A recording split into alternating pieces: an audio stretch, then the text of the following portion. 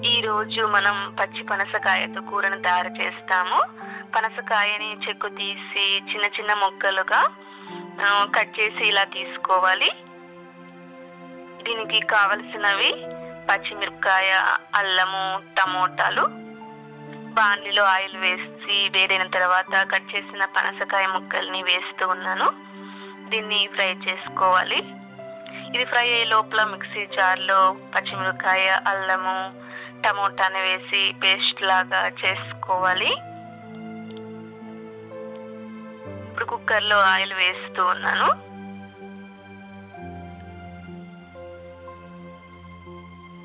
వేడైన తర్వాత ఇంగువ జీలకర్ర కరివేపాకు. ఇలా దూరగా వేయించుకోవాలి. ఇప్పుడు మిక్సీకి వేసి పెట్టుకున్నటువంటి టమోటా పేస్ట్ని కూడా ఇందులో కలుపుతూ ఉన్నాను. ఇది కొంచెం ఉడికిన తర్వాత పసుపు.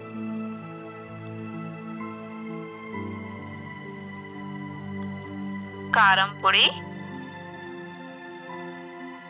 ధనియాల పొడి. రుచికి సరిపడే ఉప్పు. వేసి వీటిని బాగా కలుపుకోవాలి. కొంచెం నీళ్ళు కూడా వేసుకోవాలి.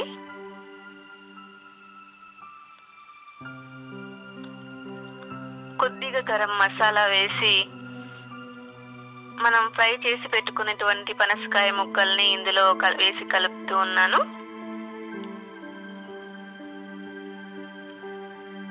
ఇప్పుడు కుక్కర్ మూత ఉంచి నాలుగు విజిల్స్ వచ్చేంత వరకు ఉడికించాలి. చూడండి ఉడికింది. ఇప్పుడు దీన్ని సర్వింగ్ బౌల్లో తీస్తూ ఉన్నాను. ఇలా తీసి దీన్ని పైన కొత్తిమీరతో గార్నిష్ చేస్తూ ఉన్నాను. చూడండి పనసకాయతో కూర రెడీ.